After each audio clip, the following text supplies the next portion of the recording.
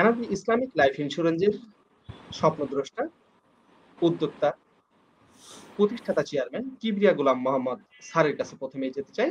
স্যারের কাছ থেকে জানতে চাইব, স্যার আপনার বর্ণাঢ্য কর্মজীবন সম্পর্কে আমাদের কিছু বলে আজকে এই অনুষ্ঠানের সূচনা করবার জন্য বিনীত অনুরোধ করছি। বিসমুল্লাহ রহমান রাহিম। ধন্যবাদ আপনাকে আজকে আপনাদের এই এই প্রোগ্রামে আমাকে আমন্ত্রণ করার জন্য।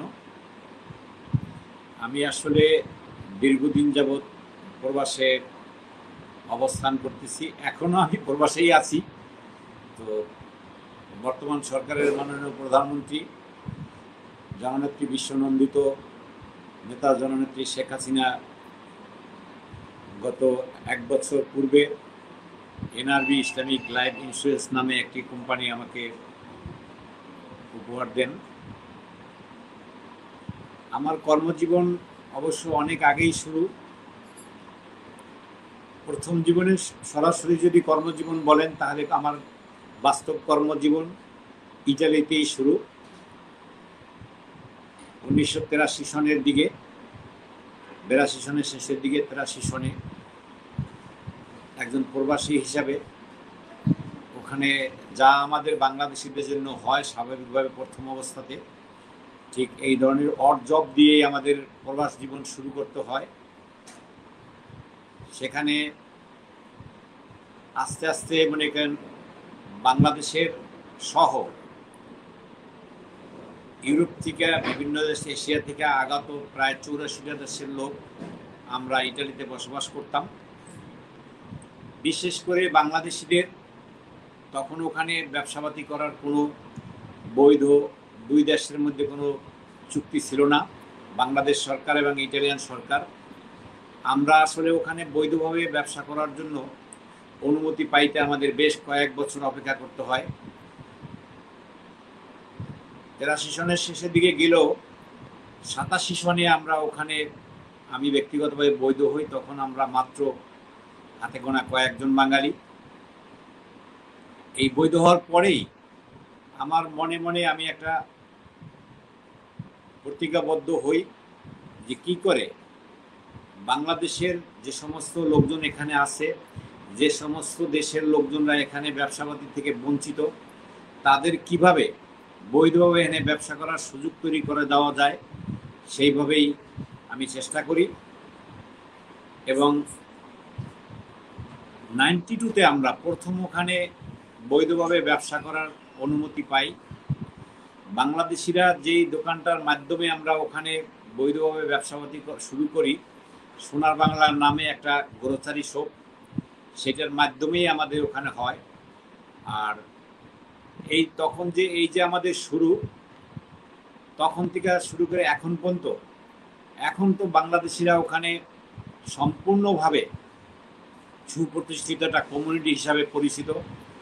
আপনি ব্যবসায়ী বলেন ওখানে সামাজিক কার্যক্রমে বলেন, ওখানে বিভিন্ন রকমের, যত রকমের কার্যক্রম থাকতে পারে একটা দেশের মধ্যে, সমস্ত ভালো কাজের সাথেই বাংলাদেশিরা ওখানে জড়িত এবং এইটা ওখানে তৈরি করার জন্য যে সুযোগ সুবিধা, বাংলাদেশ অ্যাসোসিয়েশন ইটালি নামে একটা সংগঠন ওখানে ছিল, সেই সংগঠনের আমি প্রতিষ্ঠাতা আহ্বায়ক হিসেবে এবং দীর্ঘদিন সভাপতির দায়িত্ব পালন করছি, সেই সুবাদে আমার কর্মজীবন আসলে মল্লি ইটালিতেই শুরু।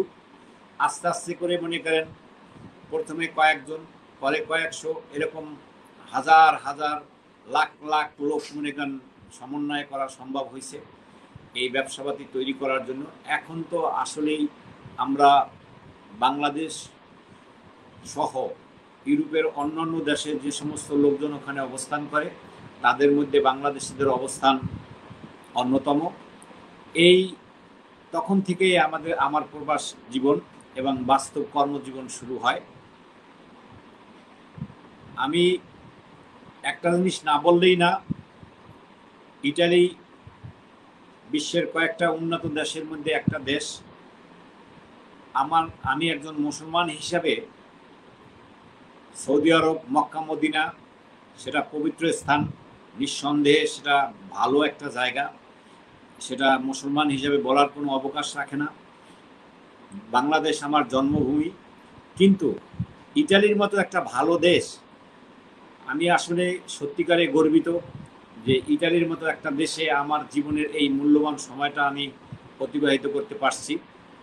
আমি গর্ববোধ করি যে বাংলাদেশের কয়েক লক্ষ লোক ওখানে বৈধভাবে বসবাস করে এবং বৈধভাবে কাজ করার যে সুযোগ সুবিধা সেটা বাংলাদেশ অ্যাসোসিয়েশন ইটালি, এটার মাধ্যমেই ওখানে আমার হাত ধরে তৈরি করা সম্ভব হয়েছে।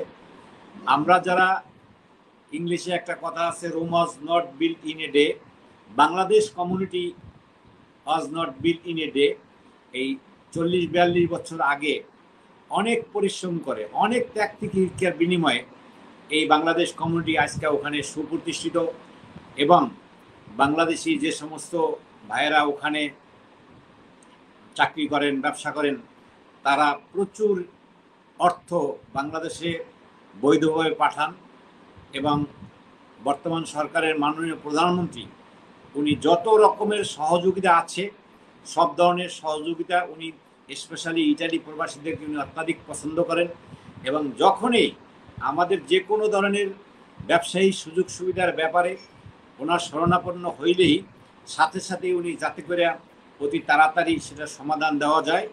এই ব্যাপারটা উনি সবসময় ইটালি প্রবাসীদের করে থাকেন, যার ফলে আমরা কোনো রকমের সমস্যা মোকাবিলা করতে গেলেই তখনই ওনার শরণাপন্ন হই এবং উনি আন্তরিকতার সহিত উনি আমাদের এই সমস্যার সমাধান দেন।